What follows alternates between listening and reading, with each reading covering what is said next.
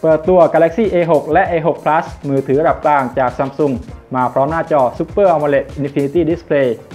ล่าสุดนะครับ ทาง Samsung ก็ได้เปิดตัว Galaxy A6 และ A6 Plus อย่างเป็นทางการ 2 รุ่นนี้ก็เป็นมือถือระดับกลางนะครับ ใช้หน้าจอ Super AMOLED Infinity Display ด้วย เป็นหน้าจอตาสน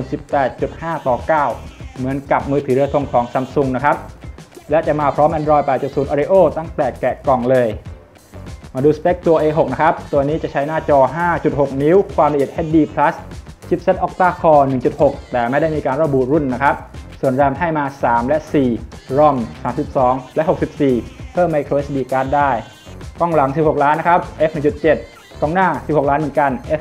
1.9ทางกล้องหน้ากล้องหลังจะมีไฟแฟลชนะครับ และแบตเตอรี่ให้มา 3,000 มิลลิแอมส่วนตัว A6 Plus ตัวนี้จะมีขนาดใหญ่ขึ้นนะครับ ให้มา 6 นิ้ว แล้วก็จะมีความละเอียดเป็น Full HD Plus เลยชิปเซ็ต Octa Core 1.8 นะครับ ไม่ได้มีการระบุรุ่นเหมือนกัน ส่วนตัวผมคิดว่าน่าจะเป็นชิปเซ็ต Exynos นะครับ แล้วก็ RAM กับ ROM จะเหมือนกับ Galaxy A6 ส่วนกล้องหลังตัวนี้จะเป็นกล้องคู่นะครับ ตัวแรก 16 ล้าน f 1.7 ตัวที่ 2 5 ล้าน f 1.9 แล้วก็กล้องหน้าให้มา 24 ล้าน f 1.9 นะครับ ทั้งกล้องหน้า กล้องหลังมีไฟแฟลชเหมือนกัน และแบตเตอรี่ 3,500 มิลลิแอมป์